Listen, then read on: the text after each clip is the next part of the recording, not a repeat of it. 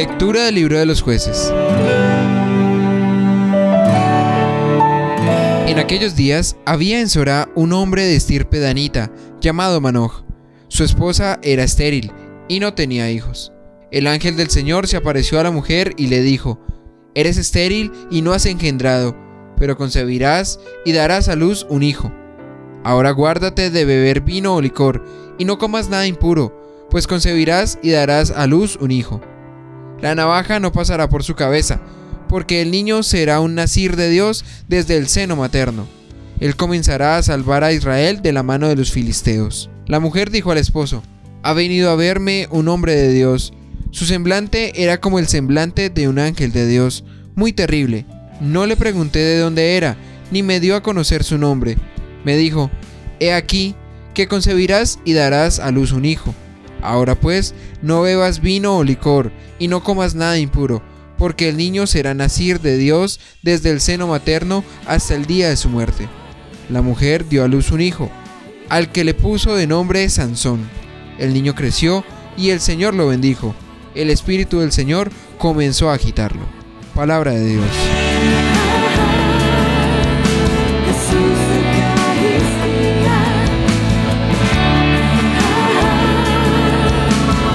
Que mi boca esté llena de tu alabanza y cante tu gloria. Sé tú mi roca de refugio, el alcázar donde me salve, porque mi peña y mi alcázar eres tú. Dios mío, líbrame de la mano perversa. Que mi boca esté llena de tu alabanza y cante tu gloria porque tú, Señor, fuiste mi esperanza y mi confianza, Señor, desde mi juventud. En el vientre materno ya me apoyaba en ti, en el seno tú me sostenías. Que mi boca esté llena de tu alabanza y cante tu gloria.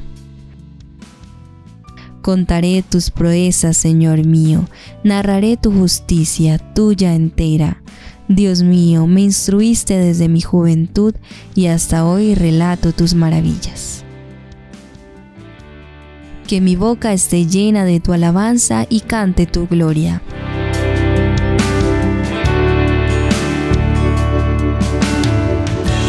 El Señor esté con Lectura del Santo Evangelio según San Lucas.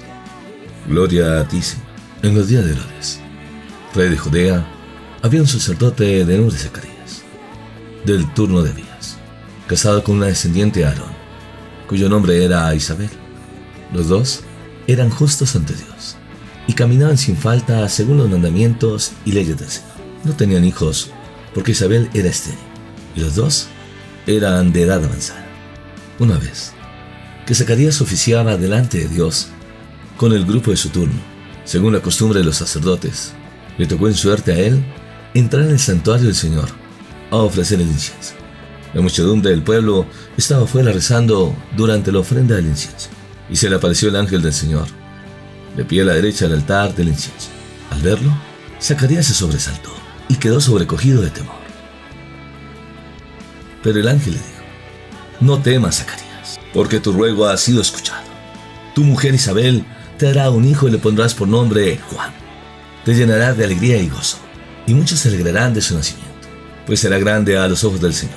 No beberá vino ni licor, estará lleno del Espíritu Santo ya en el vientre materno, y convertirá muchos hijos de Israel al Señor, su Dios. Irá delante del Señor con el espíritu y poder de Elías, para convertir los corazones de los padres hacia los hijos, y a los desobedientes a la sensatez de los justos, para preparar al Señor un pueblo bien dispuesto. Zacarías replicó al ángel.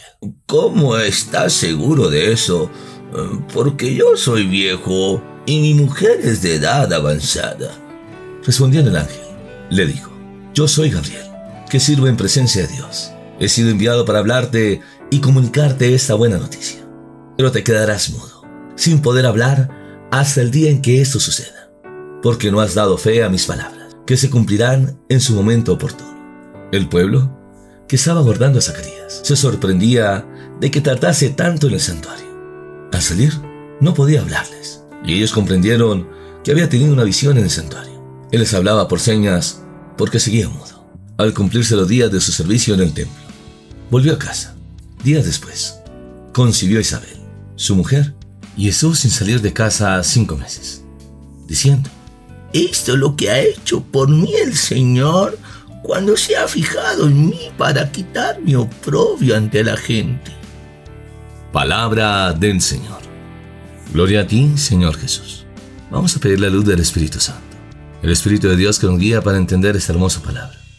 Espíritu de Dios, tú que nos enseñas a conocer los misterios de amor, porque el que tiene fe verá cosas grandes y maravillosas, que harán dar testimonio del amor, de la misericordia, de los milagros de nuestro Dios. Acompañado del amor maternal de la Santísima Virgen María con todos los santos y ángeles de Dios. Amén. Mis queridos hermanos y hermanas, veremos como en el verso 5 aparecerán seis nombres propios, con la indicación de personas, de tiempo y espacio. La acción de Dios está inmersa en la historia humana. Dios toma este mundo tal como es y en él realiza su promesa. La razón de esta elección está en su mismo misterio.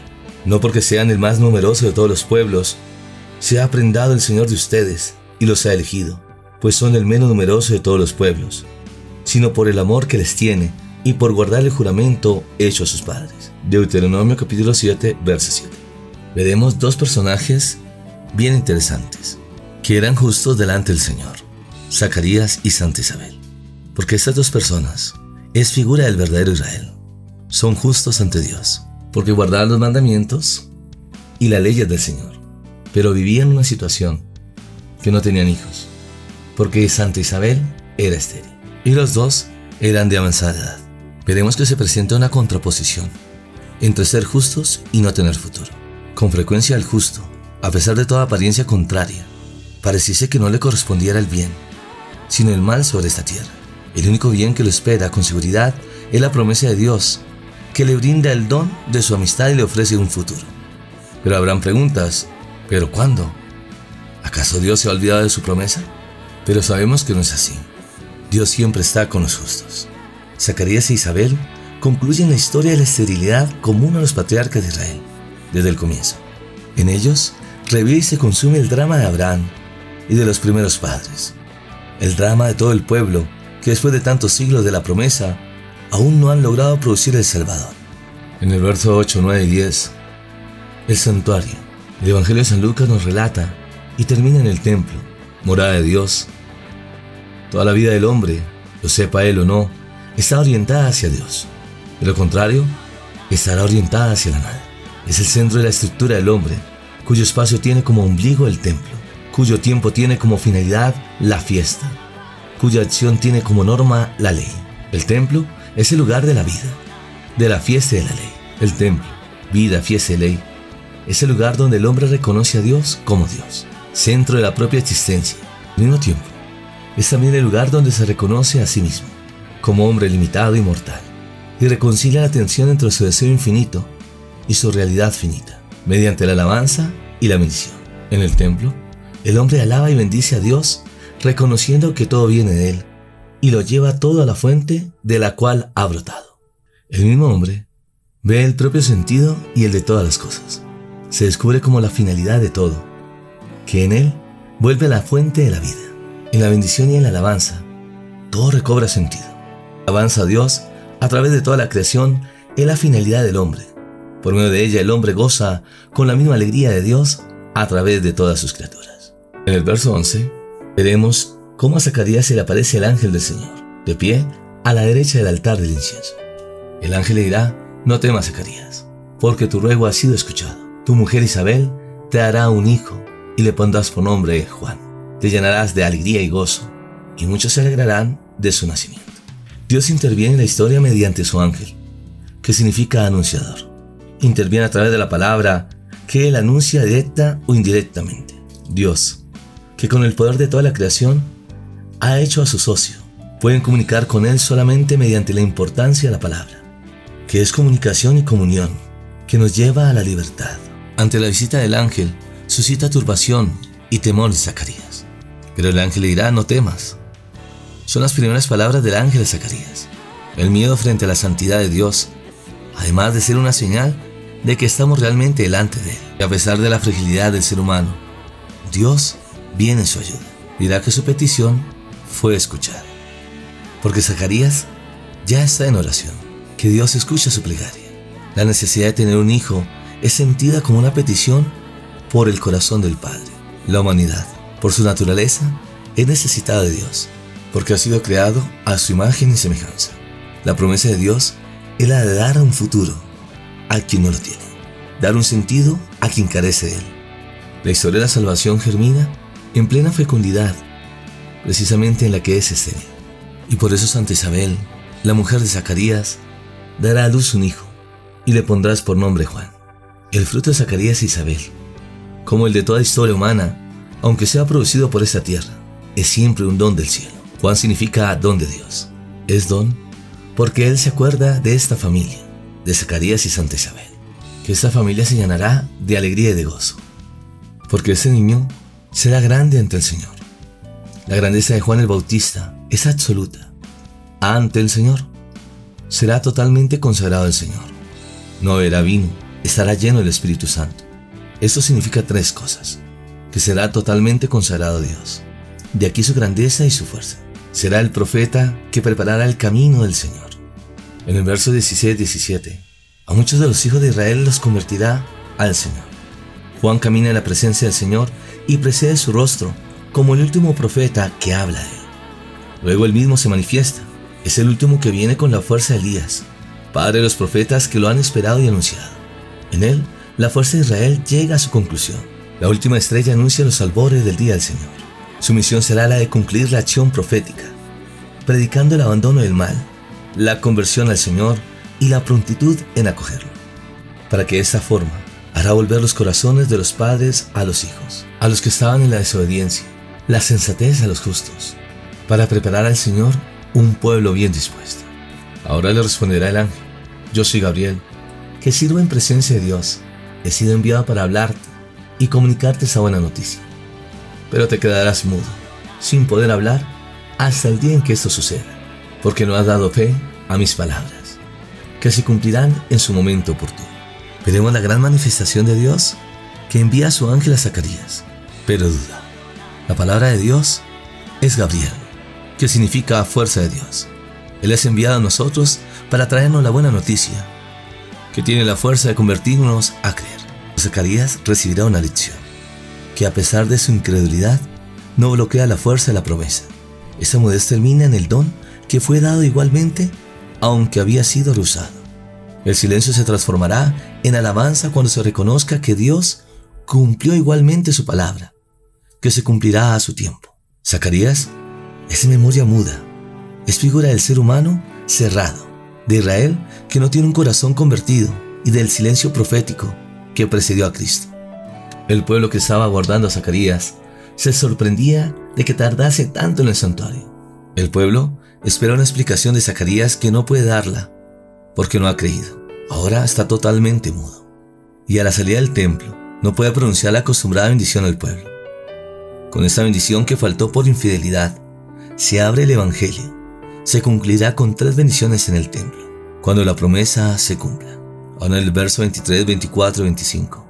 Concibió a su mujer Isabel, después de que Zacarías regresó a su casa.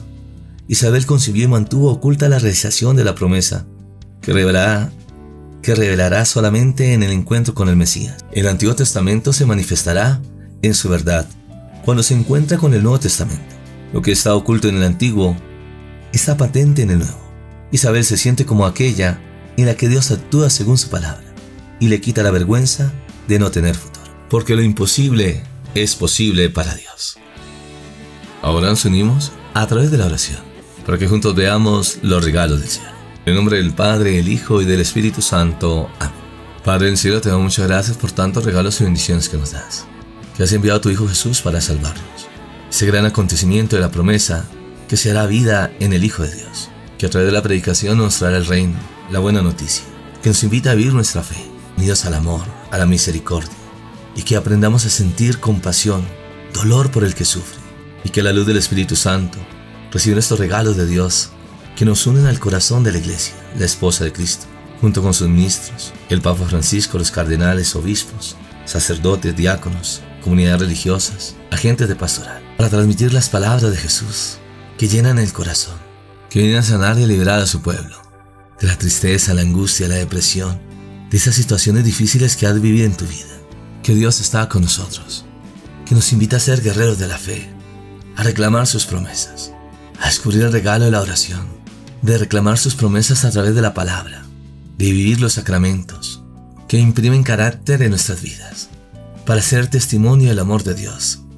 En estos tiempos que vive el mundo, por ese coronavirus, el Señor nos hace un llamado urgente a la conversión, a unirnos como familia, como pueblo de Dios, en oración, llamas encendidas para vencer toda forma de muerte, porque encontramos la vida en Jesús, el Hijo de Dios, que sea a través de la Santa Eucaristía.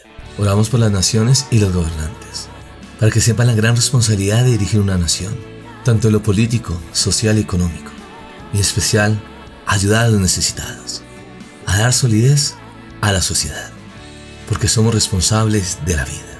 Vemos por las familias, el amor del hombre y la mujer que se unen en este proyecto santo de bendición en el sacramento del matrimonio, para que así su amor sea testimonio para los demás y ser bendición para sus generaciones futuras. Oramos por los que han sufrido este contagio del coronavirus, para que se aleje todo espíritu de muerte, para que estas personas puedan restablecer su salud, como también los que sufren distintas enfermedades en su cuerpo, enfermedades terminales, como también enfermedades mentales.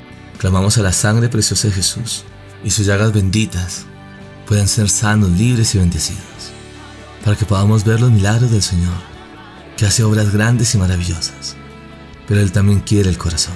Ahora te invito a entregar tu petición, tu necesidad. Es hacer un alto en el camino y revisar por qué no recibes las bendiciones de Dios. ¿Estás en el pecado? ¿O buscas a Dios en un momento de necesidad? Abre tu corazón a Él. Cree en sus promesas, pero Él nos invita a saber esperar en el tiempo indicado. Kairos, tiempo de Dios. Porque lo imposible es posible. Ahora nos preparamos para recibir la bendición. El Señor esté con ustedes. Y la bendición de Dios Todopoderoso, Padre, Hijo y Espíritu Santo, descienda sobre ustedes y les acompañe siempre. Amén. Somos hijos de Dios, que a través de la oración experimentamos su palabra, esas promesas de vida que se hacen realidad, que es tener fe, confiar, porque lo imposible es posible. Bendiciones del cielo.